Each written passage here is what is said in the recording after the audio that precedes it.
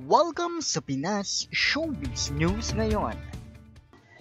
Para sa video natin ngayong araw, meron na naman po tayong fresh na fresh at nagbabagong updates patungkol kay Maine Mendoza at kay Alden Richards. Kung tunay mong mahal si Maine Mendoza at Alden Richards at ngayon ka lang nakadalaw o di naman kaya ay naligaw sa channel na ito, please po, i-click mo na yung subscribe and bell buttons para lagi kang updated sa mga kaganapan kina Maine at kay Alden. Ang pag-uusapan po natin ngayong araw ay may kinalaman po ano, dito po sa storya patungkol po sa magiging movie ni Alden Richards. Dalawang bagay po. Una ay yung pinagpipilitan po ng iba na ito pong uh, storya na gagawin, gagawin ano, ni Alden at saka ni Julia Montes. So, istorya talaga ni Alden at saka ni Min. Yun ho yung sinasabi po ng uh, napakaraming netizens na nakatutok po kay Alden Richards. Pero, meron din naman pong isa pang version na nagsasabi naman po na ito dapat ay ipinroduce ni o ipoproduce ano, ni Alden Richards at muli na naman po itong naharang ng butihing uh, management na meron si Alden. Kaya naman yung myriad ano, na dapat magkakaroon ng uh, first produce na movie ay naging co-producer co-producer na lang po sila. Bakit nga ba napunta sa pagiging co-producer ano imbis na siya yung nag-produce? Yan ho yung mga bagay na ating pag-uusapan ngayong gabi. Sabi ko naman sa inyo, basta't may kinalaman kay Min at kay Alden, araw-araw pa rin po natin pag-uusapan. Hindi natin yan palalagpasin, ano? At bago nga tayo magpatuloy pa, hayaan nyo muna magpasalamat ako sa mga subscribers and viewers natin na patuloy pong pag-support at pagmamahal. Dito po kay Min at kay Alden nang wala pong ibang hinihintay na kapalit. Lagi ninyong natatandaan na nakaisa niyo po ang buong Pinas Showbiz News ngayon sa pagsuporta at pagmamahal sa kanilang dalawa. At uh, kung ikaw naman ay nood na nood ng mga video updates natin pero hindi ka naman nakasubscribe na kung ano pang hinihintay mo, i-click mo na yung subscribe and bell buttons para lagi kang updated sa mga kaganapan sa kanilang dalawa. At uh, ito lang yan, ano, kung saan ka nanonood, halimbawa sa phone man, scroll up mo lang yan no? I-move mo lang yan pababa o pataas, ano? Makikita mo dyan yung subscribe button. Pag uh, na-click mo na yan, ikaw ang kaunahan na makakasagat ng mga updates sa kanila. At bilang pasasalamat, naririto po ang mga komentong napili ng aming team patungkol sa mga updates natin kanina lang. Unahin natin ang naging komento ni Miss Marges Locyaw. Ang sabi niya rito, basta wholesome yung movie na nagagawin nila Alden at Julia, okay lang. Ang problema lang, kung maraming manonood sa movie nila. Sana sa main na lang ang partner niya para blockbuster yan, ano? Di ko maintindihan ng management ni Alden at Main bakit ayaw nilang pagsamahin. Dahil ba sa Sarsuela, buwisit talaga yung panat na yan sa buhay ni Min. Bakit kasi pumayag si Min sa mga Sarsuela na yan, ano? Sa Itbulaga, ganun din. Lulubog lilitaw sa Itbulaga at hindi pinagsasama sa hosting. Bagsak rating ang Itbulaga, wala ang pag wala ang nature. Thanks Mr. Pinas and God bless, no? Um, gustong gusto ko po yung sinabi niyo lalong lalo na po yung part na uh, sana sa main at si Alden na lang yung magkasama sa movie, siguradong blockbuster. Wala pong uh, doubt, no? wala pong duda. Talagang ganun at ganun ang mangyayari. Pero nakikita po natin kung gaano po sila natat- natatakot na muli pong uh, magsama si Mina at si Alden. Ano? Dahil uh, magkakaroon na naman ng hindi balanse na uh, na progreso no, para sa mga artista. Maraming salamat po. At para naman ho sa ikalawa nating komento, ito mula naman po kay Miss Doris Castillo. Sabi niya rito, Blessed Monday, Mr. Pinas. First of all, happy Monsari, RJ in Bulaga. Ano? Uh, aprobado, aprobado kay Maine. Kasi lahat ng uh, magiging desisyon ni RJ, eh, sinasangguni muna ni Habi kay wifey, ano?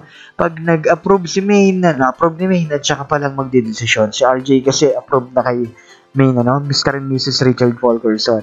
May dumating man sa inyong panibagong kalbaryo, sa inyong um, uh, sa inyong makakaya, no? Ninyo, makakayanan niya. God protect you uh, about all the all all the town, all the time, ano? Maine and RJ. And I pray to uh, na malagpasan nyo lahat ng pagsubok nyo na yan, ano? Ang uh, ano man ang kalbaryong dumating sa inyo. Mag-asawa kayo uh, kaya nyo yan, ano? God uh, saying it's time to reach out. God knows all your encounters and I pray all your basher is done. Don't worry ADN of uh, ADN fandom ano at uh, you're back forever. God bless Mr. and Mrs. Fulkerson Jr. More blessing regards to your Lola Granny, Mr. Pinas, and regards din po sa inyo. At uh, totoo yan, kahit anong pang mangyari, ano man pong proyekto bigay sa kanila, lagi po ninyong asahan na hindi hindi po mawawala ang respeto at pagmamahal ng mga netizens, lalo na ng mga Aldab fans kay Min at kay Alden. At para naman po no, sa ikatlo nating komento, ay mula naman po kay Red and 25. Sabi niya rito, Good day Mr. Pinas. For me, okay lang. Kahit sinong management, ang concern lang naman natin ay ang Itbulaga. No? Uh, Itbulaga is a platform kung saan gusto nating mapanood ang dalawa. Nakakatuwa kasi sa everyday episode na nandun sila. No? Mayroon at mayroong lumalabas na action nila na nagre-reveal ng tunay na status nila at uh, napapaloob yung love ano at uh, saya nila sa pagmagkasama nauhuli talaga sa galing ang uh, sa galing uh, ng ADN na uh, mag uh, read between the actions ano yung totoo na makakapagbigay ng uh, kalakasan sa puso ng True Blooded Alden Nation na in Conquer yung mga kasinungalingang inilalabas ng mga sarsuelista one day sasaya din tayo high hopes tayo dyan ano I myself I am praying for it. Thank you. You give more reliable updates even if not uh, that often pero may sense. Maraming maraming salamat po no sa inyong komento. And I agree with you. Ito hong uh, uh, ginagawa no na lumalabas po at uh, nagre-reveal ng tunay na status ni Nino at ni Alden sa tuwing sila po ay nagkakasama sa Itbulaga. Yun po yung ayaw na ayaw nilang nakikita. Dahil nasisira po yung mga ipinondo nila sa Sarsuela. Alam niyo naman, ano, nakapag-invest na nga naman sila sa Sarsuela, bakit uh, ipasisira lang kay Mina at kay Alden? 'Di ba? Hindi nila hahayaan yung mga ganang bagay. At uh, lalong-lalo na nawala po yung uh, kanang kamay nitong si Panot ano dyan, dyan sa Itbulaga, si Maha Salvador. Nako, uh, lalo po sila magiging maingat. Tingnan nyo, tingnan nyo ngayon, ano, may mga schedule sila na nawawala na naman po sila. Nawawala na naman si Alden. Well, na, alam naman natin na may taping pa sila. 'Di ba? At speaking of taping, pag-usapan na nga muna natin. Ito pong proyekto ni Alden Richards na makakasama niya si Julia Montes. Kung saan uh, marami nga po ang uh, naguguluhan. Unahin natin yung dalawang uh, punto de vista na meron po sila. Yung una, ang sinasabi po nila dito, no, dito sa uh, issue na tambalang uh, Alden at Julia Montes, sinasabi po nila na yung istorya ng kwentong kwento nito ay para talaga kay Maine at kay Alden. Originally, Alden and Maine talaga ito dapat. Yan yung sinasabi nila. Pinagpipilitan ng mga fans na uh, popondohan na dapat ito ng Myriad. Ang magpo-produce talaga nito ay Myriad, ano? yung kumpanya ni Alden Richards na hindi lang po mga concerts, nagpo-produce din po sila. Yun dapat po yung uh, magiging break talaga ng Myriad na uh, mag-organize sila ng uh, movie ni Alden at saka po ni Maine, ano, na sabi nga ni Alden Richardson sa kanyang interview, eh, ayaw niya maging safe. Di ba?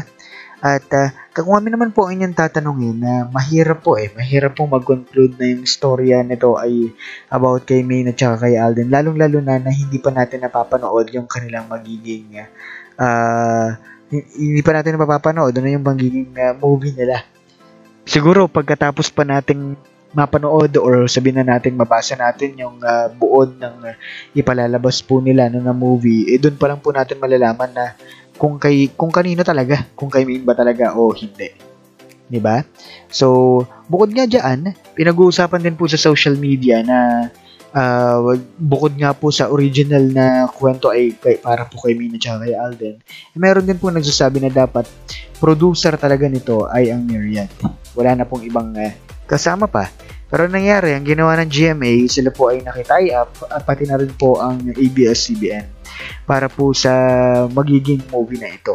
Na nakita naman po natin ano na hindi po hindi natin masabi. Pero baka malay natin sa look uh, test na ginawa nila eh kailangan mas mukhang matured sa Alden ano. Pero okay na 'yun. Ang importante po dito no nakita po natin yung dalawang punto de, punto de vista ng mga sumusuporta kay Maine at kay Alden.